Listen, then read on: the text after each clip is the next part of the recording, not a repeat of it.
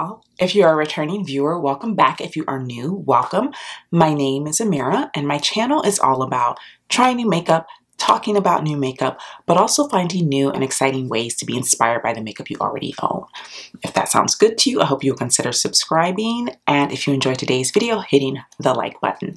Today, guys, we're going to talk about empties. I haven't done an empties video, I think, since summer like beginning or mid middle of summer, may have been the beginning, June, July time.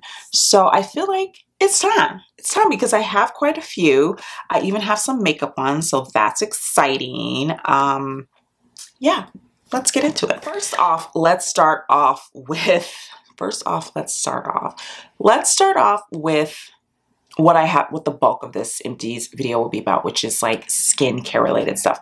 I use a lot of skincare related items. And when I say skincare, I mean like face skincare as well as body care. I go through a lot because I try to take care of my skin, you guys. And yeah, and so as a result, I tend to, I'm using my products all the time. I tend to empty them pretty quickly. So first off, let's start with face skincare. And let's start off with the cleansing balm that I was using for the majority of the summer, which is the Good Molecules Instant Cleansing Balm. Um, I bought this, I believe I bought this when I did my birthday haul with Ulta and I really enjoyed this. I probably will eventually pick it up again. Right now I'm using the Farmacy Green Clean, which is a higher end product, way more expensive. You do get a little bit more product, but that was more like me treating myself. I don't really, you don't need a, you know, 30 something dollar, you know, cleansing balm. That's crazy. This one I believe is 11 bucks. I do wish it was bigger. I wish they had like an even like, I think they have a deluxe size. I might, if I pick this up again, which I probably will, get the deluxe size because I do feel like I went through this really fast. So the so while it was much cheaper than my Farmacy Green Clean, I went through this much faster than I would my Farmacy Green Clean. You know what I mean? But yeah, I think it's a really good one. The, the, the litmus test for me when it comes to good cleansing balms is if it can get my mascara off. My mascara is not waterproof. I don't wear waterproof mascara. But I'm one of those people who mascara just like gloms onto my eyelashes and it's very hard for me to get off. And I don't care how much I like use an eye makeup remover. I almost always have a little bit left. And I do use an eye makeup remover usually and then go in with my cleansing balm and I still have mascara a lot of the times. It's one of the reasons why I don't wear waterproof because I feel like I've already got issues removing it.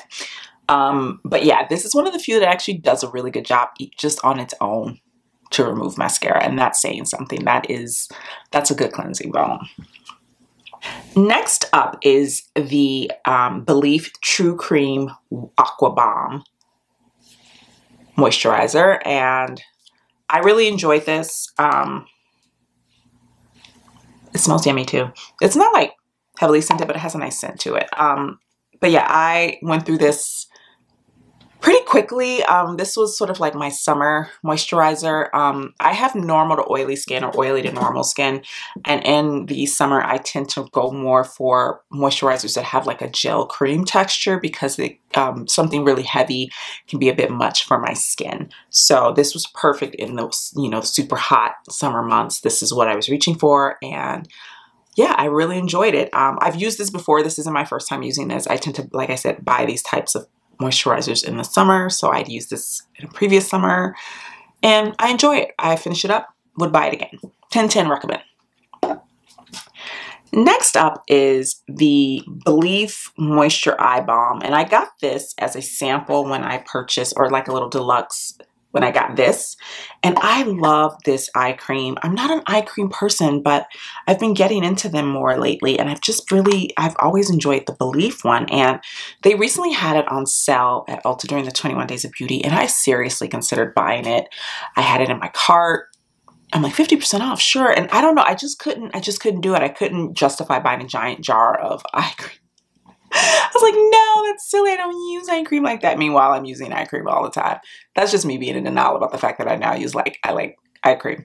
But this is a really good one. So if you are in the market for an eye cream, it's really lightweight. It absorbs nicely. It feels good on the skin. Um, yeah, I definitely recommend the Belif one if you are in the market for an eye cream. And finally, I have the Lancome Bi-Facil. And this is what it looks like. And I've emptied one of these before. I had the smaller bottle. This is the big bottle and I finished the big bottle. It took me a really long time to finish this. These are expensive, but like I said, it took me a long time to finish it. So I feel like it was worth it because I got a lot of bang for my buck. Um, yeah, I really like this, I, the Lancome eye makeup remover. I'm, I'm in the, I have another one in my bathroom right now that I'm using. It's a smaller one that I got during the Ulta sale once I finish that one, I would I would branch out and try some other ones, but that one was on sale for 50% off, so I threw it in my cart because I was like, you know, I like it. I know I like it. It's 50% off. I'm just going to buy it. So yeah, but if you are looking for a really good gentle remover, eye makeup remover that does actually remove makeup and you're not rubbing, rubbing, rubbing, this is a really good one. It's a really good one. And it, it doesn't leave your eyes feeling dry. You know, sometimes some eye makeup removers can just make your eyes feel like you've just pulled all the moisture from the skin of your eye, your, you know, like your eyelids and your under eye. It doesn't make you feel that way. It actually feels quite not moisturizing, but your it, because it has that oil, that biphase formula, it it feels good on the skin.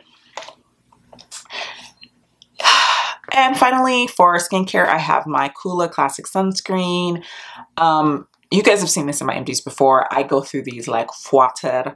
Um, I only buy them on sale though because they're hella expensive. And actually, now that I'm looking at it, it might be a little bit left, like right here. I don't know how much though.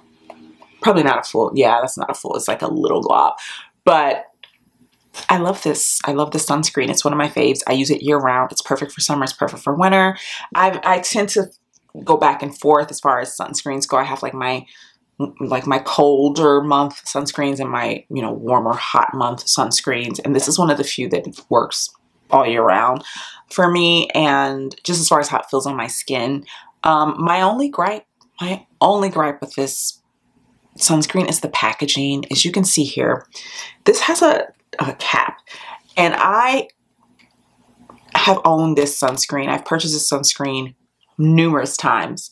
And every single bottle has had the cap crack and then come off. And then I'm just left with the inner casing of the cap. And I just feel like for 32 doll hairs, that should not be happening. That's my one gripe. That's the only gripe I have with this product is the packaging. Uh, that that bugs me to no end and it's happened with literally every single one, including the body one. I also use the body one in the summer months and I love it, but the same exact thing happens where it cracks. You like you're opening and closing it and the plastic is just really thin and cheap and I think it just cracks. It gets these little like hairline cracks and then eventually it just pops off and you might as well just throw it because it's completely useless. And so I throw it away and then I'm left with the outer casing here. So yeah, my one gripe with this product, they need to do better with the casing.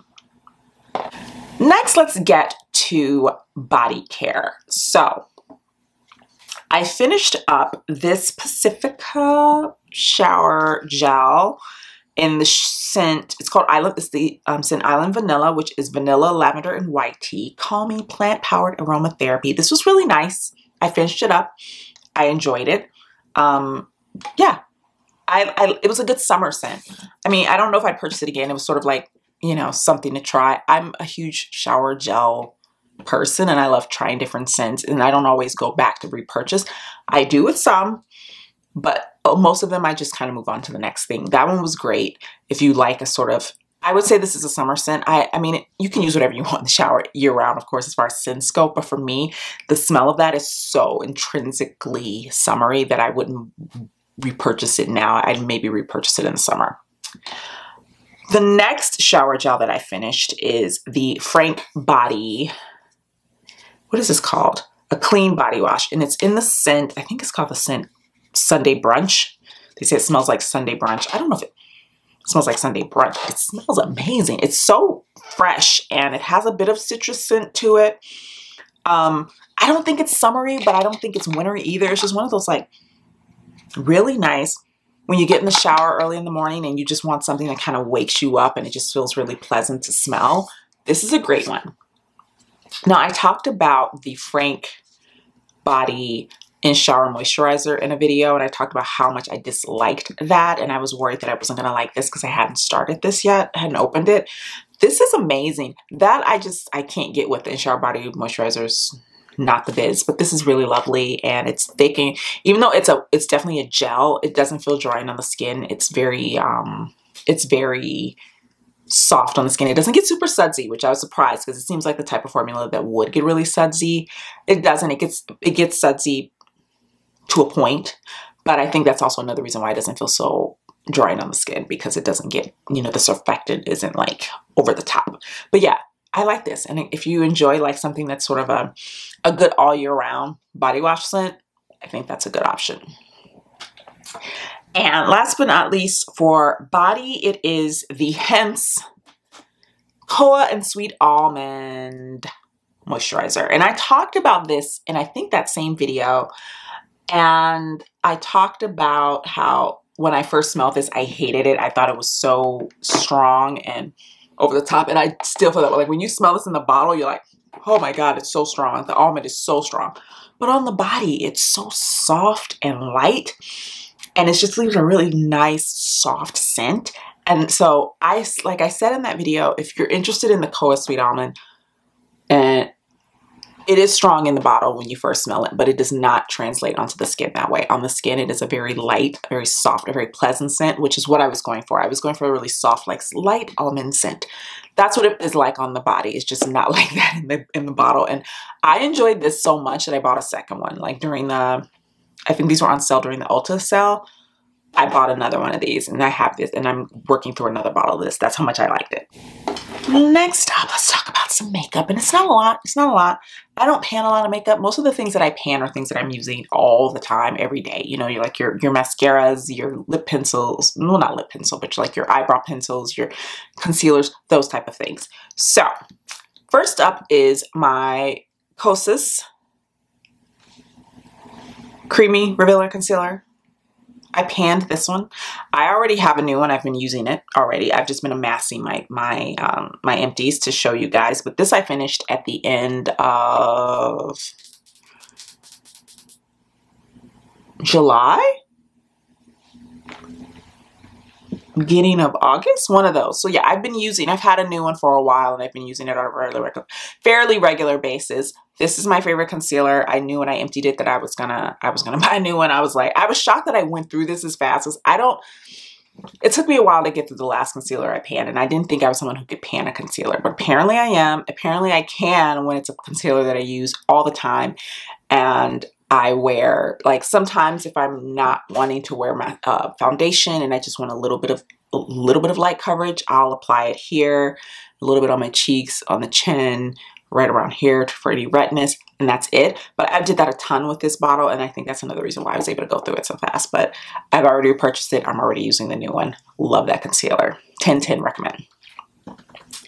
And then next up is my brow pencil, which I have not repurchased, and I'm thinking I'm going to switch back to brow powder. I used to use brow powder all the time and I was in the pinch. I ran out of this. This is the Anastasia Brow Wiz in medium brown and this is a repurchase. I purchased this around the same time that I purchased my Kosas foundation, which is why I was shocked that I had emptied, that I had finished this already because it usually takes me way longer than that. And I'm wondering if they're putting less product in these things. Anywho, I missed the Ulta sale when they were having 50% off of these, but I kind of am like okay with that. I'm kind of ready to try something different. I just don't know what yet, but I'm thinking it might be a brow powder. But yeah, in a pinch, I was using brow brown shadow, like a cool tone brown eyeshadow from a palette that I love. And I was just um, thinning it out on my hand and then applying it and it was working so beautifully. And I was like, I forgot how much I love brow powders. So I think I'm going to look for a brow powder. If any of you know of a good brow powder, let me know in the comments down below because I'm in the market for one. But yeah, I finished my Brow Wiz.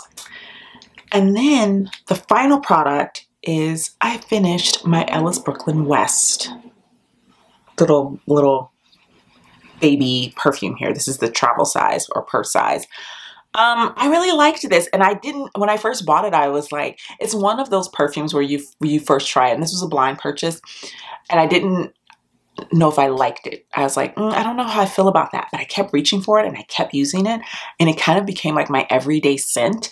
And then I finally had to sort of like admit to myself that I did enjoy it. It's not a, it's not a, it's not to rock your world. You know, it's not that kind of scent. It's just one of those scents that smells good. It's just like a really good utilitarian, everyday kind of scent. And that's why I was able to finish it up because I was reaching for it all the time. I just wanted something, but I didn't want anything super intrusive. I wasn't going for a specific vibe. I just wanted a really nice scent. And that's how I would describe this. Like, it's very clean, it's crisp, it's not, it, there's no notes in it that stand out. There's something slightly soapy about it when you first smell it, but on the skin, once you spray it on, it that kind of fades a little bit to this really sort of clean, soft scent, which I really like. And it's great for those days where you just want to smell good, but you don't want to smell like necessarily anything specific, you know? You don't want to be like, I smell like vanilla, I smell like flowers, I smell like, you know, whatever. I smell like chocolate or apples or cherries. You don't want to smell like a thing. You just want to smell nice this is basically what that gives. So yeah, I, I would recommend it on that front. Would I repurchase this? I don't know. There's a couple of other perfumes on my wish list that I would probably purchase first, but I'm not averse to repurchasing this. I probably would still buy the small size though, not the large. All right, guys, so that is everything that I have panned since my last project pan, which I believe was in the beginning of the summer, I'm thinking. So yeah, not a ton that I've panned, but enough. Um, yeah, and I'm probably going to have more because I started a little mini project pan for the end of the year from like October to the end of December. So my next empties should be a bit more robust as far as like beauty products, makeup products, things like that. If you enjoyed today's video, please be sure to hit the like button and I will see you guys in the next one. Bye now.